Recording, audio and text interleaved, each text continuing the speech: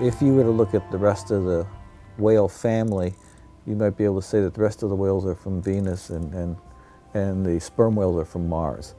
Sperm whales are uh, the largest of the Odontocetes, the toothed whales, and indeed they are amongst the largest animals to occur in, in the world's oceans. They're also some of the most bizarre animals to occur. Uh, yeah, sperm whales are, are probably uh, the most abundant of all the large whales, and they're probably found over the most wide range, and that is that they're cosmopolitan in all the world's oceans, uh, occurring in, in tropical to temperate waters, uh, with adult males occurring in the high latitudes. Sperm whales are, are amongst the deepest divers uh, out there, and they, they forage at these tremendous depths.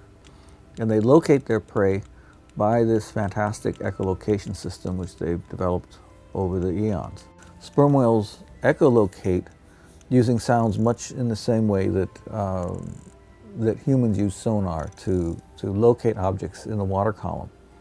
Sperm whales have, uh, however, this tremendous capability that some people are postulating may be actually able to stun their prey um, and, and ability to communicate over, over large distances. Just the echolocation system in sperm whales seems to be built around an organ which is unique to sperm whales, and that is the spermaceti organ.